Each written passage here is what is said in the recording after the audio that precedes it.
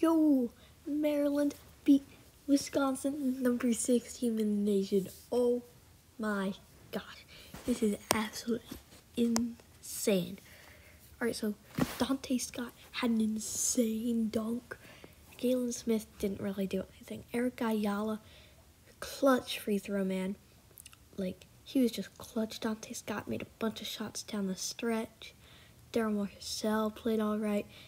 He jumped up like a little kid wanting to go to Disney World when Donta Scott dunked. I'll have another video on that later. Aaron Wiggins popped off. Finally, Jairus Hamilton did all right. Made two threes. Didn't shoot too many threes today.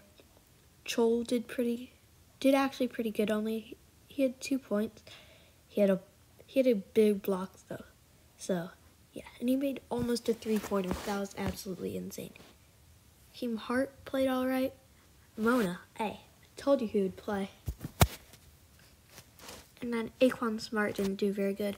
But yeah, this was absolutely insane, guys. Like, so Coach Turgeon said it's good for us to bond and be on the road together, and that really paid off. I think it really did. So yeah, that was absolutely insane. So yeah, this was amazing for Maryland's program.